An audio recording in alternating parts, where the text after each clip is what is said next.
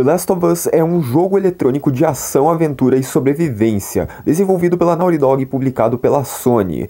Ele foi lançado exclusivamente para PlayStation 3 em 14 de junho de 2013. Na história, os jogadores controlam Joel, um homem encarregado de escoltar uma adolescente chamada Ellie através de um Estados Unidos pós-apocalíptico. The Last of Us é jogado a partir de uma perspectiva em terceira pessoa, com os jogadores usando armas de fogo, armas improvisadas e furtividade a fim de defender-se de humanos hostis e criaturas canibalísticas infectadas por uma mutação do fungo Cordyceps. Um modo de escuta permite a localização de inimigos por meio de uma escuta escuta e percepção espacial aprimoradas.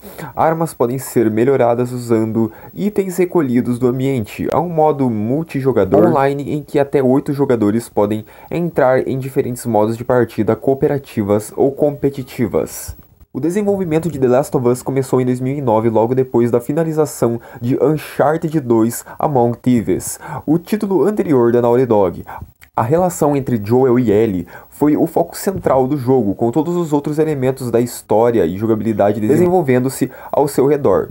A equipe criativa escolheu os atores Troy Baker e Ashley Johnson a fim de interpretarem os personagens principais, que realizaram a captura de movimentos e dublagem de seus respectivos personagens. Ambos auxiliaram o diretor de criação Neil Druckmann com o desenvolvimento da história e personagens. Novos motores de jogo foram criados para satisfazer as necessidades técnicas, com a inteligência artificial de Ellie sendo um grande ponto de desenvolvimento e aprimoramento. A trilha sonora original foi composta por Gustavo Santaolalla, enquanto os efeitos sonoros auxiliaram um ponto de vista mais naturalista e minimalista que em outros jogos de ação. The Last of Us foi anunciado em 2011, gerando grande expectativa.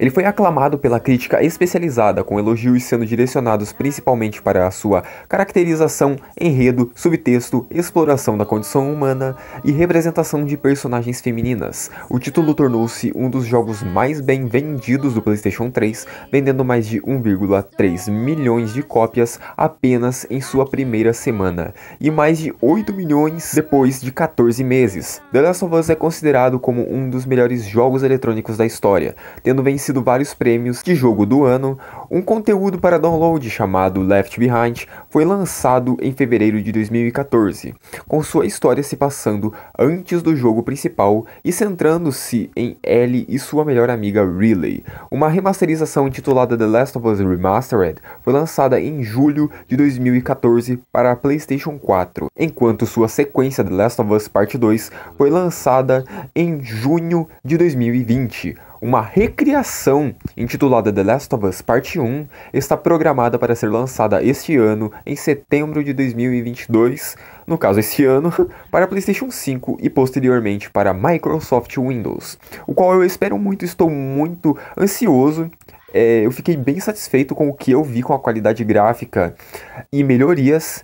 E cara, eu sou um extremo fã de The Last of Us. Tudo que eu posto aqui nesse canal é, é, centrado em coisas que eu gosto, então é meio óbvio que eu ia dizer isso no final. Mas para deixar melhor explicado, eu cheguei a jogar The Last of Us 1, né, o não remasterizado, e eu me apaixonei pela série assim. Eu não sabia, eu meio que conheci The Last of Us sem tomar quase nenhum spoiler, e eu acho que isso, por, pela falta de eu saber do que se tratava na época, é meio que eu fui pego de surpresa e foi uma surpresa muito boa porque depois disso eu me interessei muito por aguardar o lançamento da sequência que estava sendo muito falada naquele ano. Eu aguardei, esperei.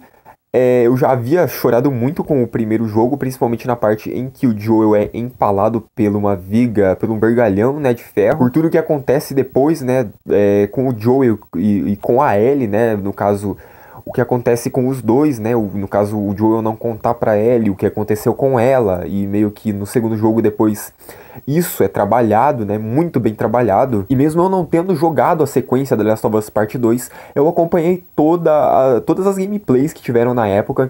E eu senti como foi toda a história daquele jogo várias e várias vezes. Eu chorei muitas e muitas vezes vendo e revendo o Joel levando pancada na cabeça e vendo e revendo a luta final onde a Ellie começa a socar a Abby e aí começa a voltar os flashbacks, as músicas também que são icônicas, cara.